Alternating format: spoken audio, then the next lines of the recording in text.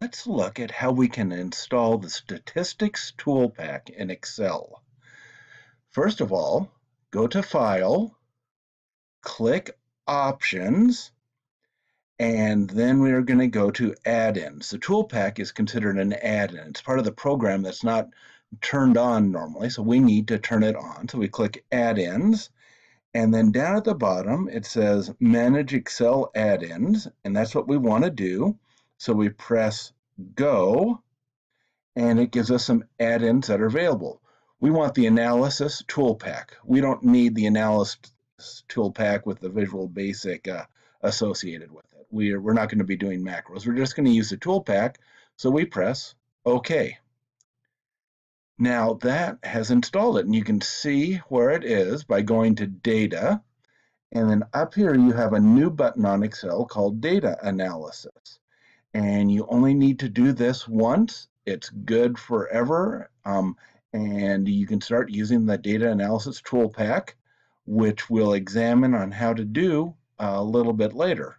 But to give you a little idea of what we can do, we can use most this toolpak for most of the statistics that uh, we'll do in an introductory uh, uh, course. We've got ANOVA, we've got correlation, descriptive statistics is probably what you want to start off with. Um, a bunch of a bunch of things here, and we'll be using this toolpak that we can always find under data and then data analysis to be able to do calculations very quickly with Excel.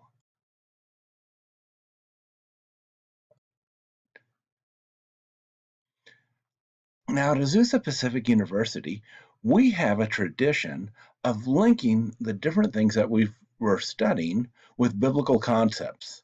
Now we've just installed a tool pack for us, uh, Excel a tool pack is basically giving us a tool so that we can do something that we normally uh, couldn't or that we wouldn't be able to do with, without it.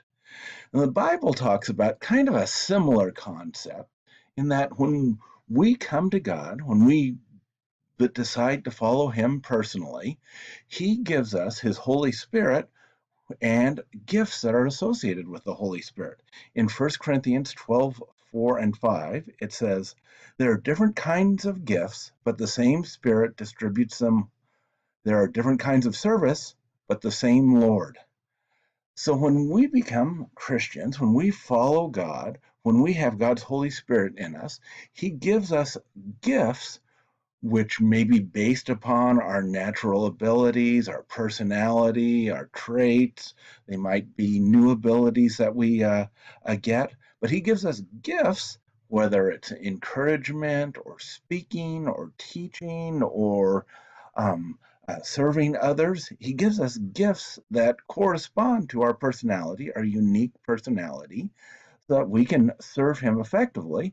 And that's how his community is made up with people that each have different tools enabling themselves to work together, each person using his tool to love one another as God has called us to love one another.